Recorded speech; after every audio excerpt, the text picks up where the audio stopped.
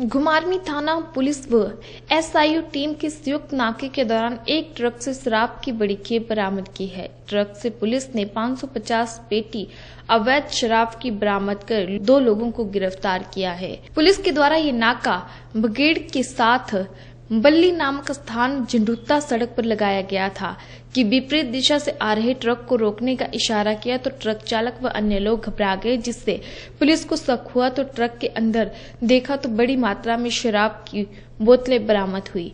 Truck चालक व अन्य लोगों से पूछताछ की जा रही थी कि अचानक एक व्यक्ति अंधेरे का फ़ायदा उठाकर वहाँ से भाग निकला तथा दो को पुलिस ने गिरफ़्तार कर लिया है। पुलिस ने जानकारी देते हुए बताया कि एक ट्रक से 550 पेटी एनबी रोमियो, अरुणाचल मार्ग का बरामद की गई है। पुलिस ने ट्रक को कब्जे में लेकर आगामी कार्यवाही शुरू कर दी है। पकड़े गए युवक रोहित कुमार, पुत्र रणजीत सिंह, गाँव डाकघर समरकुल जिला ऊना तथा दूसरा सुशील कुमार, पुत्र वतन सिंह, गाँव डाकघर दसलेहड़ा तहसील झंडुत्ता जिला बिलासपुर का है। इस नाके में police team SI Surendra Singh मुख्य आरक्षी अनिल कुमार, रणवीर सिंह आरक्षी मुनीश कुमार तथा एसआईयू टीम में मुख्य आरक्षी दौलत राम रवि कुमार केवल किशोर, आरक्षी बाबूराम, चंचल सिंह आदि मौजूद रहे।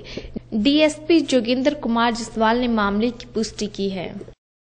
पिछली रात को घुमारवी पुलिस टीम ने और बिलासपुर से आई एसआई टीम टीम ने बघेड़ के पास बल्ली जगह पर नाका लगाया हुआ था। तो साढ़े ग्यारह बजे रात बघेड़ की तरफ़ से एक ट्रक एच पी उनहत्तर स्तुंजा बुंजा आया, जो पुलिस पार्टी को देखकर ट्रक चालक ने जो है ट्रक पीछे ही खड़ा कर दिया और दो, इसमें बैठे हुए दो सवार व्यक्ति जो है भागने लगी।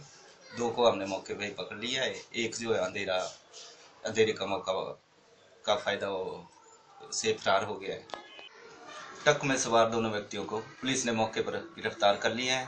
तथा इस ट्रक में से 550 पेटियाँ जो है अवैध शराब, एक्स एक्स जो अरुणाचल प्रदेश सेल की है वो बरामद की।